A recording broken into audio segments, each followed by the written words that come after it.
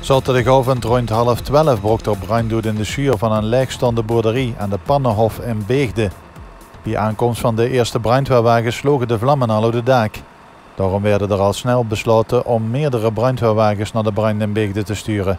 In totaal drie bluswagens, twee waterwagens, en een autoladder en de hoogwerker van de brandweer kwamen ter plaatse. Direct gevolg de omgeving was er niet, waar kwam er veel rook vrij bij de brand. Volgens een woordvoerder van de brandweer werden de gebruikt als opslagplaats. Enkele tractoren en een kleine boot die in de stal stingen zijn verloren gegaan door de brand.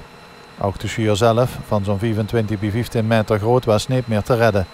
De brandweer kost wel voorkomen dat het vuur oversloeg naar het woonhuis. In eerste instantie werden er nog gewaarschuwd dat er mogelijk overlast zou zijn voor de omgeving. De rook trok volgens de brandweer echter over onbewoond gebied. Even voor 1 uur, zo'n anderhalf uur nadat de brand was ontdekt, werd het zijn brandmeester gegeven, waar hij het nablussen nog enige tijd in beslag genomen.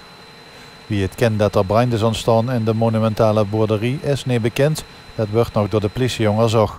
Brandstichting wordt daarbij niet uitgesloten.